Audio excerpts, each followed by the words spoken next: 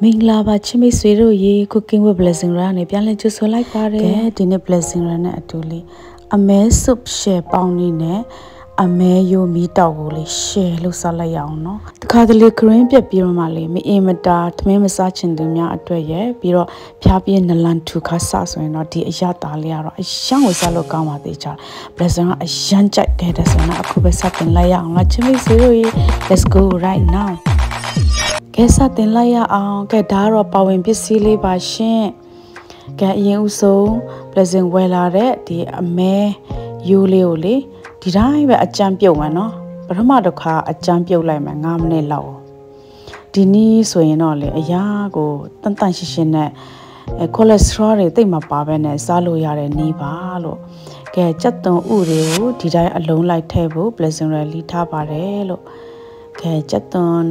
ဖြူဥလည်းဒီတိုင်းပဲပြီးတော့ဂျင်းထည့်ပါမယ်နော်အဲ့မှာကဲဒါလေးတွေပြီးပြီဆိုရင်တော့ကြက်သွန်မိတ်တွေနဲ့ carrot တွေကိုပါနည်းနည်းလေး blessing ထည့်ပေးမယ်စွတ်မှာထည့်ချပြရာကိုအရသာရှိပါတယ်လို့ကဲဒီ soup 9မိနစ်လောက်ကို blessing ချက်လိုက်ပြီးအကြမ်းပြီးရင်အားလုံးပြန်ဆေးလိုက်မယ်ကဲအားလုံးပြန်ဆေးပြီးတော့မှလေ တဖန်လက်နဲ့လည်းကောင်းကောင်းမွန်မွန်ပြန်ပြီးတော့မှဒီအသားလေးတွေကိုလေတခုချင်းစီပြန်ဆေးပြီးတော့မှချက်မဲ့ဦးထဲမှာ pleasant တော့ထည့်လိုက်ရအောင်နော်ဒီလိုချက်စားကြည့်ပါနော်တကယ်ဆိုတကယ်စုပ်ရဲ့အရာတာကိုရမှာပါလို့တခါတလေ pleasant ကလေ တခါရဲရောချက်လိုက်ပြီဆိုရင်သူ့ရဲ့ cholesterol တွေအဆီတွေနဲ့လေနော်အရာကိုကျမရင်းနဲ့မငြိမ်ညစ်ဘူးဒီနီးလေးကိုရှာတွေ့သွားတဲ့အခါ blessing အရာကိုအမြဲတမ်းလှုပ်ရှားဖြစ်တဲ့နီလာလေးပါလို့တန့်ရှင်းရှင်းလေးပဲเนาะကြည့်ပါဦးကဲဒါဆိုရင်တော့အသားတွေအားလုံးအဲတန့်ရှင်းပြီးပြီဆိုရင်တော့ blessing အမ carrot ထည့်မယ် carrot ထည့်ချင်မြအချိုတက်ကိုပေးပါတယ်လို့ဒီမှာဘာမှထည့်ဆရာမလို့တော့เนาะဒီစားသမျိုးလေးပဲထည့်မယ် ကဲကြက်သွန်ဥကလည်း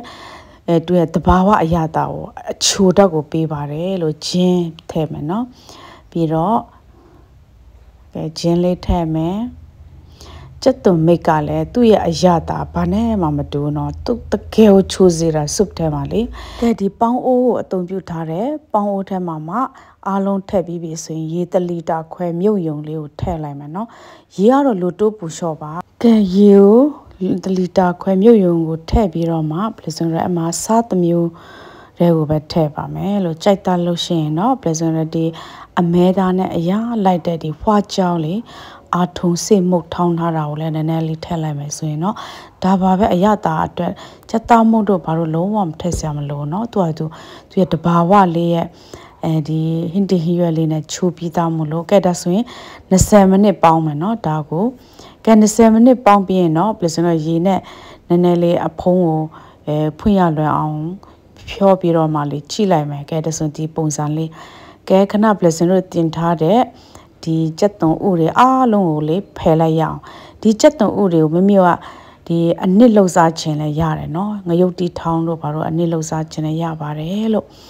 ကဲ blessing ရကတော့ဒီမှာ carrot လေးကတော့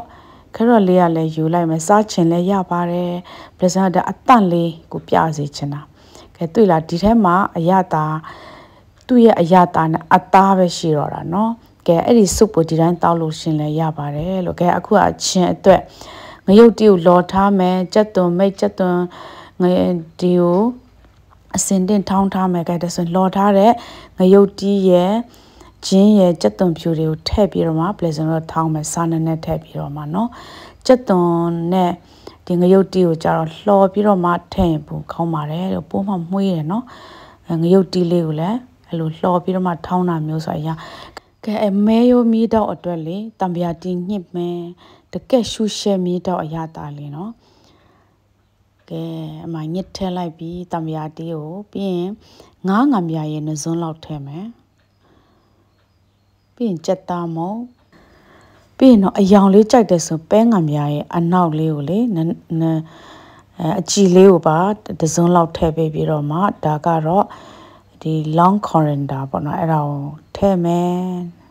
ကလားနာနာမိတ်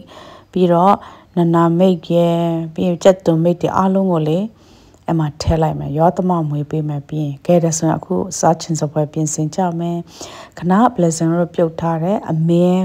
ပေါင်းလေးပေါ့အဲ့ဒါကိုကိုစားမဲ့ပကံထဲမှာတေချာလေးစီထည့်မယ်နော်စီထည့်ပြီးတော့သူ့ရဲ့အရေလေးပါတောက်မှာနော် blessing ကတော့အဲ့ဒီအချင်းလောက်ထားပြီးဆိုအရေလေးနဲ့လည်းအရမ်းမိုက်